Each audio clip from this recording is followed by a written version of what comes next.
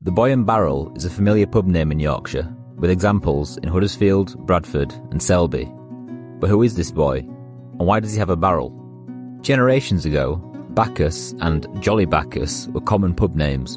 Bacchus was the Roman god of wine. Although pubs are primarily associated with beer, he was seen as a suitable patron of any drinking place. Paintings often depicted Bacchus as a chubby infant holding a barrel, like the famous work by Guido Reni. Early 18th century pub sign painters followed this depiction when crafting signs for Bacchus and Jolly Bacchus taverns. As years passed, the original references became less and less recognisable. The chubby figure and barrel, once clearly Bacchus, transformed into the simpler Boy and Barrel. So, the next time you have a pint at the Boy and Barrel, remember its historical connection to the Roman god of wine.